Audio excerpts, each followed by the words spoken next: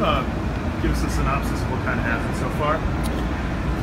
Well, what we have so far is uh, I was called in for a pedestrian struck with serious injury. Um, I then called several members of the traffic unit to come out to investigate.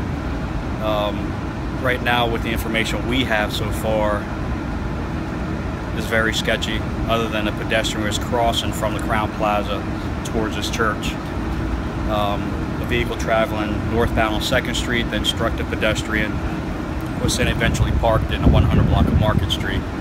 The operator of that vehicle was then detained, which we have in custody right now, and I am questioning him. So right now, as far as the injury on the victim that was struck, uh, it's serious. So we don't know if he's going to survive or not. So right now, uh, it's undetermined as far as his uh, survivability.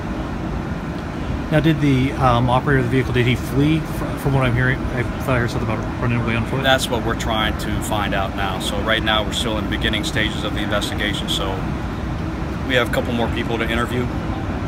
So we'll eventually find out if he, in fact, wanted to flee or what the case is.